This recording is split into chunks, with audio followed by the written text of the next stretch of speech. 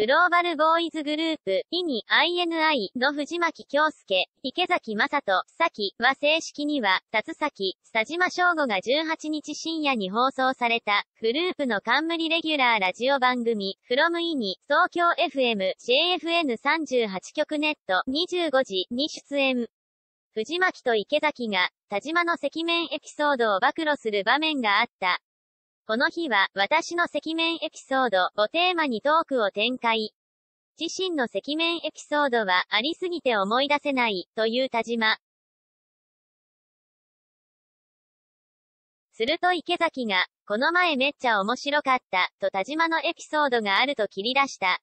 以前、衣装さんに手伝ってもらいながら着替えていた際、それ衣装が汚れるのでフェイスカバーつけて欲しかったです。と言われると、田島は、あ、ごめんごめん。パニクっちゃってさ、と急にタメ口になり、すごくチャラくなっていたと暴露。この様子が笑いの壺に入ったという池崎は、爆笑したわ、と語った。また、俺も翔吾くんのエピソード1個ある、と切り出した藤巻。ダンスの練習中にみんなで確認し合ってた際、佐島が一人で変顔しながらやっており、ボケでやってるのかな、と思った藤巻は爆笑していたのだそう。すると、見られていたことに気づいた田島は恥ずかしくなったのか、もういい。見てた、と言いながらごまかしていたと暴露。しかし、田島はこの出来事を覚えてない、という。